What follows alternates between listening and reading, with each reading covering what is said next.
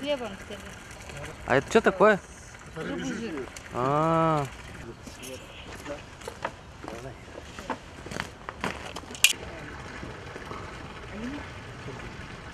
Кто праздник?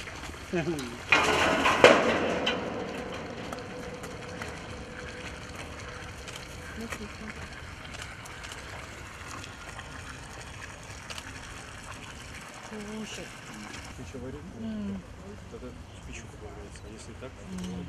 м. А как узнаешь, что он болеет? Сегодня у нас мы отмечаем Международный день полярного медведя.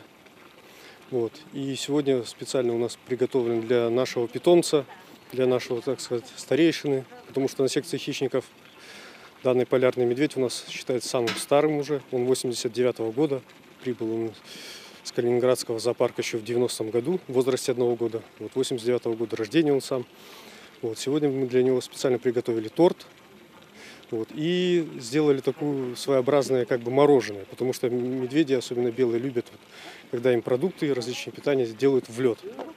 То есть медведь не только поедает, то есть, и, но и как бы это обогащение поведения, когда он добывает, он чем-то заинтересован. Сейчас глобальная проблема стоит именно не в браконьерстве, а в глобальном потеплении. То есть, наверное, многие знают, что льды арктические тают с неимоверной скоростью, и как дальше будет белым медведям, как, как они будут приспосабливаться.